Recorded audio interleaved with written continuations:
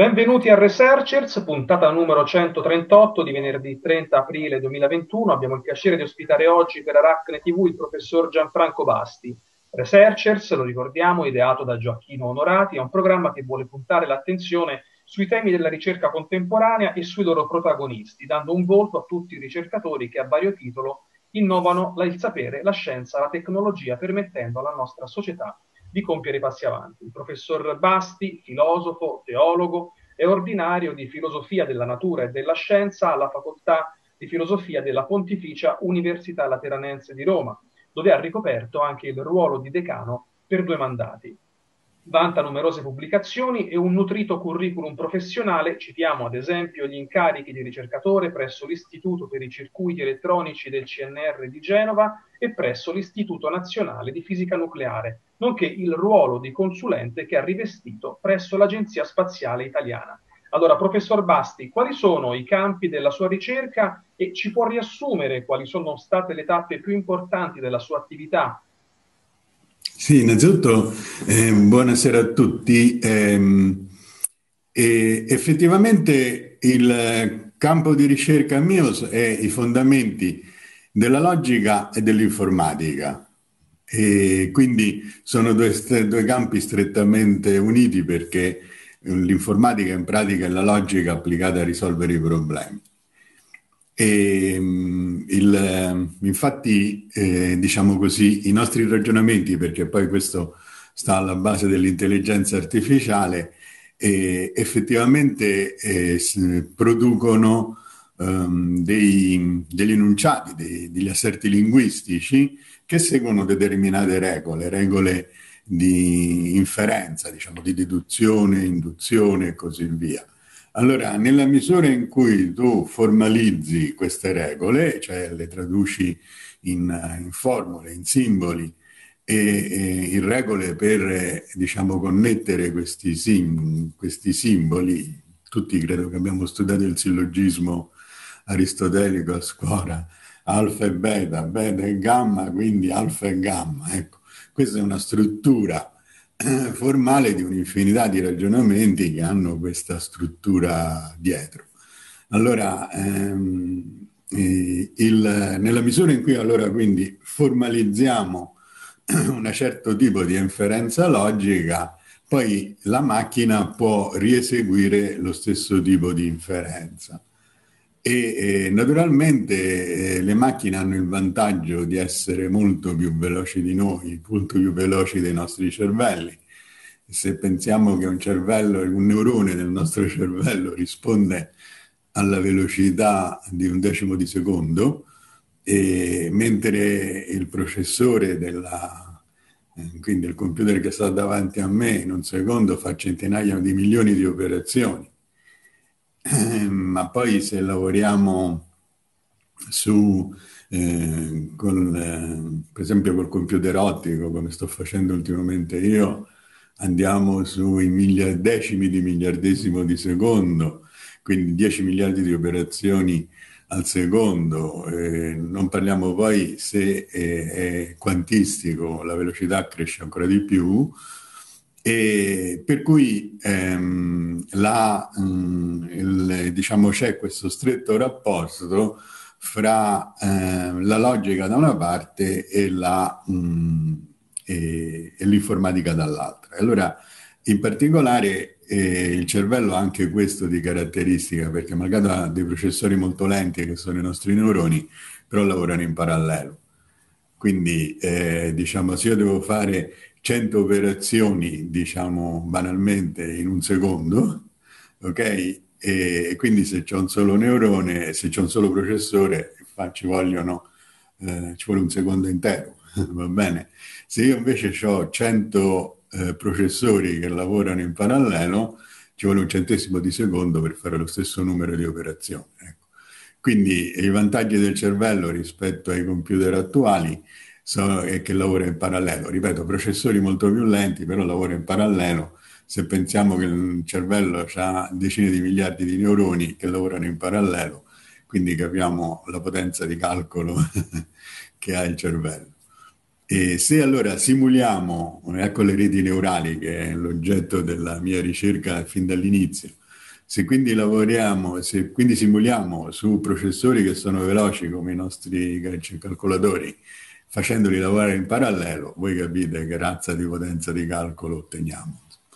Eh, ecco allora la ricerca sulle reti neurali, e, che ovviamente poi ha delle implicazioni filosofiche sia in filosofia della scienza che in antropologia, no? la mente, la mente artificiale, ma allora tutte le sciocchezze che sono state dette e vengono ancora dette sul computer c'è la coscienza, tutte queste banalità qui, insomma, ecco.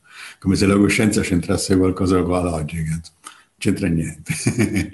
e quindi il, però sono sciocchezze che sono state dette anche dai illustri filosofi, quindi continuiamo ancora a parlarne. E, e allora ecco tutta la ricerca che eh, viene fatta eh, diciamo in questo campo che è immediatamente ha una ripercussione filosofica. Diciamo, io ho cominciato dalla filosofia e poi sono passato alla computer science, ma e continuando a fare filosofo perché è il mio mestiere. E, però ecco, sono due campi che si scambiano continuamente a vicenda. Attualmente sta lavorando a una nuova interessante ricerca, eh, Prometheus. Ce ne può parlare come nasce e quali sono le sue applicazioni? Ecco, um, Prometheus è il nome di, uno, di, una startup che poi è un gruppo di ricerca eh, che si è originato all'interno dell'Istituto di Microsistemi e, e Microcircuiti dell'area di ricerca del CNR. Il, um, adesso mi viene in inglese, National Research Council, il Consiglio Nazionale di Ricerche eh, di Bologna. E eravamo un gruppo di amici, cioè abbiamo lavorato insieme per altri progetti per l'Agenzia Spaziale Italiana.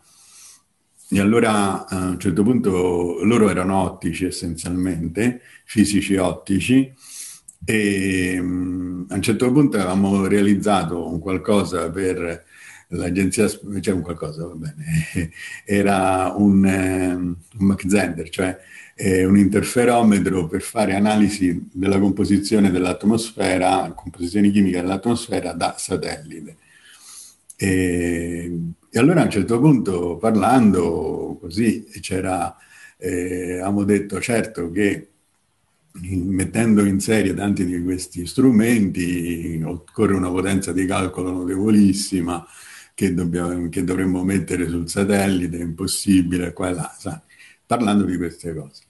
E, e, così l'idea che con un mio studente che adesso lavora per il governo americano, quindi eh, non, non, sta più qui da noi, è un cervello in fuga, ormai non torna più, e il, mm, e ci è venuta l'idea, dice scusate, ma noi il computer ce l'abbiamo già, cioè nel senso si può fare un'implementazione ottica direttamente su questi strumenti eh, del calcolo stesso, cioè gli stessi strumenti di osservazione possono diventare i calcolatori a loro volta, eh, perché un calcolatore francamente usa diciamo correnti elettriche, cioè un flusso di elettroni, e così, per così si chiama elettronica, eh, ma noi potremmo usare un flusso di fotoni, va bene?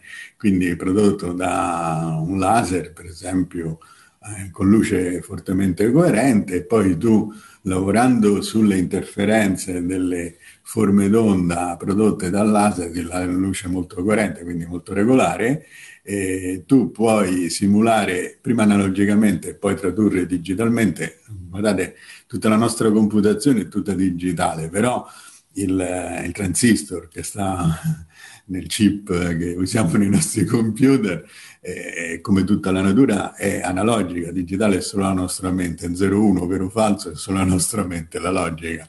La natura è analogica. Va bene, poi semplicemente, adesso dico una banalità, ma solo per capirci, eh, se io ho un'onda che fa così, metto una soglia, tutto quello che è sopra soglia è 1, tutto quello che è sotto soglia è 0, e quindi un'onda fatta così diventa una sequenza di bit di 1-0, no? Eh, così otteniamo sia il digitale nel transistor, ma possiamo ottenere il digitale anche nel, nell'onda, nell'onda, elettromagnetica, cioè nell'onda di luce coerente. E il nostro Gigino è molto carino, è un chip che abbiamo realizzato seguendo questa idea e che abbiamo realizzato all'istituto creando una startup apposta poi per gestire e poi commercialmente anche industrialmente diciamo, questa idea. E, e, praticamente c'è un micro laser che pensate consuma solo 3 millivolt e quindi niente. E, e eh, diciamo, spara questa luce coerente ci sono, possiamo mettere in 2 cm quadrati per il momento fino a 100 ma potremmo andare verso i 1000 eh, guide d'onda. E poi sulle guide d'onda c'è un elettrodo e un elettrodo d'oro quindi sul bordo della guida d'onda, e attraverso di quella noi possiamo pilotare la forma d'onda come vogliamo e quindi creiamo tutte le figure di interferenza che vogliamo, quindi se vogliamo tutte le porte logiche che desideriamo, ma siccome eh, il computer quantistico di cui avete sentito dire, di solito fatto in elettronico, eh, usa il principio di sovrapposizione, cioè se io ho due onde che stanno in fase si sovrappongono, no? diventano una sola onda. Quindi, eh, diciamo così, eh, questa è la computazione parallela, ecco il collegamento con le reti neurali, io la posso realizzare in maniera eccezionalmente efficace quantisticamente perché eh, faccio stati sovrapposti di tantissime forme d'onda. E eh, la cosa istantanea è che mh, diciamo, la coerenza di come oscillano queste onde, eh, si, come si propaga, si propaga velocissimamente perché eh, non è che va più forte della velocità della luce, se no rifacciamo la figura della nostra famosa ministro della cultura che non voglio citare.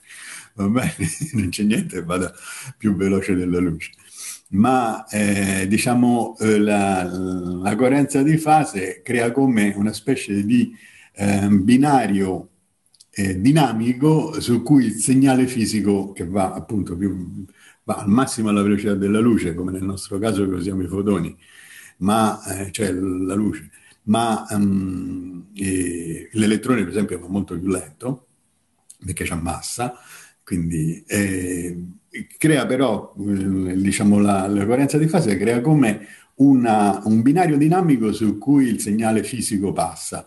Per fare un esempio molto semplice che capiamo tutti, tutti noi sappiamo che se io prendo una chitarra e suono la corda di là, va bene? E di là ho uh, di fronte a me un diapason e una forchetta. E come mai che l'energia meccanica, che è l'aria che vibra, che produco facendo, suonando la, mio, la mia corda là, fa, mm, diciamo, diventa lavoro, cioè fa macro vibrare il diapason ma non la forchetta. Perché il diapason e, il, e la corda dell'A già micro vibravano sulla stessa lunghezza d'onda, quindi sulla stessa frequenza, erano in fase erano entangled, va bene? L'entanglement quantistico. E allora eh, chiaramente l'energia passa lì e non passa là. Ok? Quindi se, allora forse hai capito il principio, se noi possiamo pilotare l'entanglement, quindi le, le sovrapposizioni delle forme d'onda elettromagnetiche, come ci pare, perché il nostro ha veramente una precisione sconvolgente, cioè, lo dico con orgoglio, tanto non l'ho fatto, io sono solo uno che lavora un po' sulla logica di questa cosa, l'hanno fatto i miei amici. E c'è una precisione incredibile, eh, allora noi possiamo fare tante, eh, possiamo fare un computer quantistico, possiamo fare o una rete neurale che lavora in parallelo ottica, Va bene, intanto i nostri neuroni di fatto si scambiano segnali elettromagnetici, quindi anche loro sono ottici poi alla fine. Tutto è ottica in chimica, perché tutto è elettromagnetismo. E quindi eh, o ehm, diciamo ci simuliamo delle reti neurali eh, ottiche o addirittura un computer quantistico. Va bene? E, e, per il momento noi l'abbiamo utilizzato per un'altra cosa molto utile, è uno step precedente perché la ricerca, cioè, detto così sembra tanto semplice, ma poi realizzarlo è un macello. Quindi per il momento come primo step verso il computer ottico e poi ottico quantistico è, è ehm, fare dei sensori, va bene? Cioè quando io devo, ogni, ogni molecola eh, ha la sua impronta eh, che il suo modo tipico di vibrare che dipende da come, dagli atomi che la compongono. E quindi è un fingerprint, cioè unico. E ovviamente bisogna farla vibrare. Per far quello io lo devo colpire da una radiazione elettromagnetica, che però per esempio può essere all'infrarosso, quindi assolutamente invisibile e non, e non, e non nociva. Allora voi immaginate, non so se avete visto come nei film, no? quando ci sono tutti i raggi laser che si incontrano per, per la sicurezza, ecco, immaginate una cosa così, però fatto di infrarossi, quindi sono, ripeto, assolutamente innocui e invisibili. E allora questo che cosa fa? Fa vibrare tutto ciò che c'è nell'aria, eh, tutte le varie sostanze che c'è, i vari gas che stanno nell'aria, no? oscillano. E quindi se ci mettiamo, se nel nostro aggeggino che possiamo programmare ci disegniamo la forma d'onda, ci disegniamo fisicamente la forma d'onda di un dato materiale, e quando eh, diciamo, la molecola di questo materiale risuonasse nell'aria con questa forma d'onda nel nostro sensore, immediatamente viene riconosciuta. E la cosa bella è che noi possiamo programmare, diciamo, memorizzare in questo chip eh, centinaia di migliaia di forme d'onda di tutte le più diverse sostanze e quindi fare riconoscimento immediato di una sostanza e se vogliamo dire, siccome noi commutiamo al miliardesimo di secondo, cioè possiamo cambiare forma d'onda al miliardesimo di secondo, siamo più veloci di una reazione chimica. Quindi se eh, la sostanza cambia natura, diventano altre cose, no? perché c'è la, la, reazione chimica e noi la seguiamo, facciamo il locking, no? la seguiamo e questo voi immaginate le applicazioni che si possono fare di tutti i tipi, insomma. Mm, riconoscimento idrocarburi, riconoscimento di sicurezza di gas nell'aria, riconoscimento, adesso ultimamente stiamo applicandolo in agricoltura eh, con i droni, no? eh, per riconoscere l'andamento delle culture, cioè, mm, c'è solo la fantasia, insomma, ecco, da sbizzarrirsi. Ecco, per i suoi studi nel 1995 ha ricevuto un premio molto prestigioso ci racconti chi gliel'ha conferito e in quale campo di studio? Eh, era appunto, erano i tempi eroici, diciamo così, della, eh, delle retine orali, perché io la cosa strana è che avevo fatto una tesi di ricerca nell'84 con il professor Zomezzi, che era professore di filosofia della scienza qui alla Sapienza di Roma, e adesso purtroppo è morto, ma è, è colui che ha portato diciamo, l'intelligenza artificiale in Italia, almeno dal punto di vista filosofico. Lui era un fisico diciamo, prestato alla filosofia. E con lui ovviamente ho imparato tantissime cose e, e avevo cominciato a fare una tesi, appunto, una tesi di, di dottorato sulla, mh, tesi di laurea sulla, mh, e, sulle reti neurali, le prime reti neurali che risalivano agli anni 40. E, ed era una tesi storica, ma ehm, diciamo in quegli anni che forse si ricorderanno le persone, erano gli anni dello scudo spaziale no, di Reagan? E che poi portò alla caduta del, eh, dell'URSS, perché praticamente facendo gli americani credere, perché non era vero, facendo gli americani credere che avevano risolto il problema per fare lo scudo spaziale e c'entravano le reti neurali, perché era l'unico modo per fare quei calcoli, e allora i russi ci cascarono in un modo o nell'altro e si arresero, per cui è caduto il muro di Berlino. Poi ci sono tantissimi altri motivi, anche Giovanni Paolo II, tante belle cose, però eh, il motivo vero era che mh, mm, finiva la dottrina eh, del, dell'equilibrio del terrore, no? perché eh, se l'equilibrio del terrore era tu mi mandi la bomba atomica, io te ne mando un'altra e ci annulliamo tutte e due. E se però uno fa, annulla la bomba atomica che l'altro gli manda perché c'è lo scudo spaziale, è finita, insomma. E allora eh, erano anni strani, cioè c'erano tanti motivi economici, ma c'era anche questo motivo militare. E io non sapevo che reti neurali servissero a queste cose, detto sinceramente. Uno l'ha scoperto dopo, dopo l'89. Però ecco, siccome era uscito un libro di Marvin Minsky, che era un grandissimo della fisica, del, di questo campo, negli anni 68 che dimostrava che un computer digitale, cioè questi sequenziali nostri, eh, poteva risolvere problemi molto semplici anche di logica che invece una rete neurale di tipo lineare, cioè quelle di, degli anni 40, insomma, eh, degli anni 40-50, non poteva risolvere proprio in linea di principio. Allora le reti neurali furono abbandonate.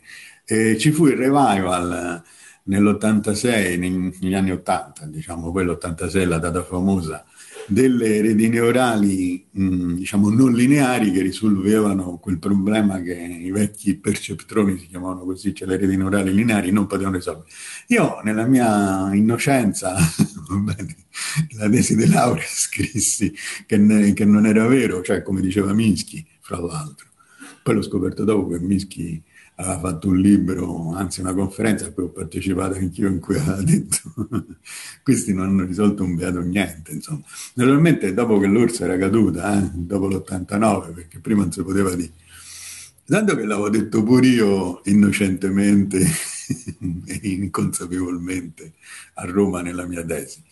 E soltanto che sa, queste tesi girano.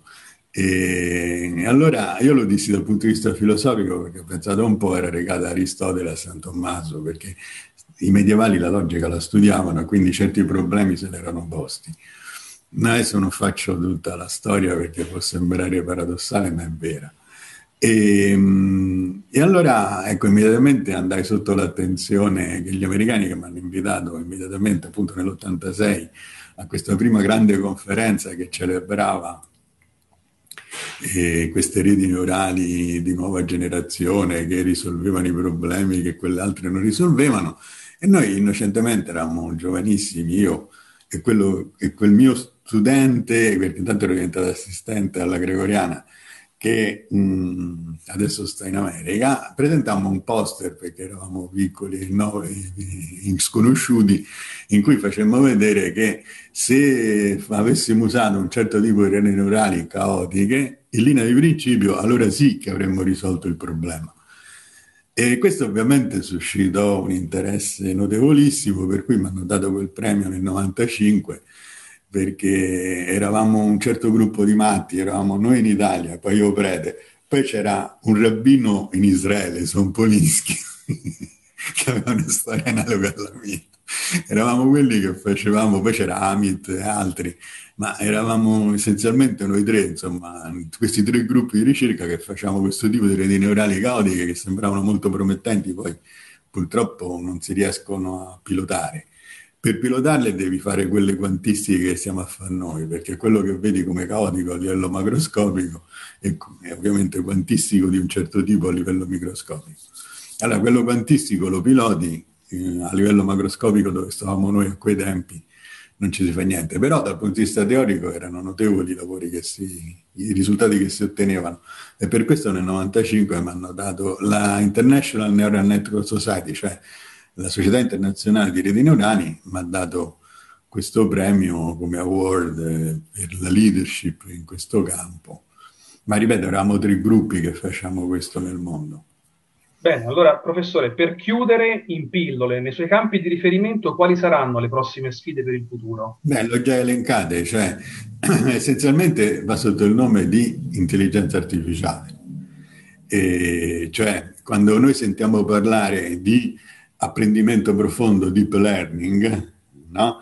si intende essenzialmente qualcosa che è legato alle reti neurali, cioè le reti neurali, diciamo per capire cos'è il deep learning, hanno uno strato di neuroni iniziali per ricevere gli input, uno strato di neuroni finali, simulati ovviamente, eh, per l'output, in mezzo hanno i neuroni che elaborano, un po' come il nostro cervello, ci sono i neuroni sensori, i neuroni motori, no? input, output, in mezzo ci sono i neuroni della corteccia che elaborano l'informazione. Allora, eh, una rete neurale di questa nuova generazione è quella che appunto ha tanti strati di neuroni intermedi, deep layer, strati profondi, e quindi ehm, il futuro è tutto l'intelligenza artificiale. Ovviamente, siccome esistono dei grossissimi problemi, eh, non, non, voi non immaginate quanti e quali. per far funzionare questi sistemi.